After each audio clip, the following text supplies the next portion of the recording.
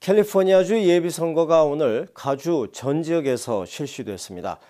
본선에 비해 유권자들의 관심이 적은 예비선거지만 한인들의 투표율은 증가할 것이라는 전망이 나왔습니다. 노승욱 기자가 취재했습니다.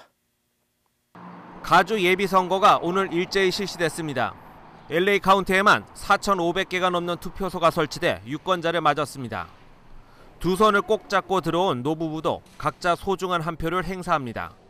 선거는 오전 7시에 시작돼 출근하면서 투표소에 들린 직장인들도 눈에 띄었습니다.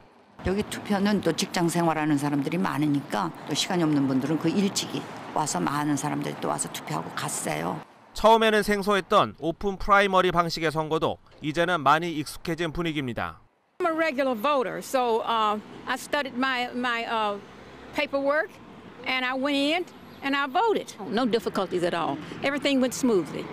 본선에 비해 유권자들의 관심이 떨어지는 탓인지 이번 예비선거 투표소들은 다소 한산한 모습을 보였습니다. 하지만 한인타운 내 위치한 투표소는 조금 다른 분위기입니다. 타운 내 한 투표소는 꾸준히 찾아오는 한인 유권자들로 채워졌습니다.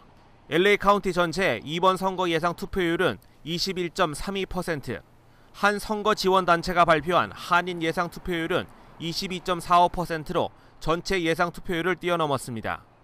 이는 또한 4년 전에 비해 약 5% 증가한 수치입니다. 2010년 선거와 이제 투표를 비교해서 최종 투표를 추산한 결과가 현재 이제 LA 카운티가 한 21% 정도 투표를 보이지 않을까 예상하고 있고 한인 유권자들은 22% 정도. 하지만 늘어나는 한인 유권자에 비해 한국어를 구사하는 선거 봉사자는 크게 부족한 것으로 나타났습니다. 이번 선거부터 영주권자로 그 자격 조건을 확대했지만 그 효과는 미비하다는 지적입니다. 또한 한인 유권자들의 한인 후보를 제외한 다른 후보에 대한 정보 부족도 개선돼야 할 점으로 꼽혔습니다. KBS 뉴스 노수욱입니다.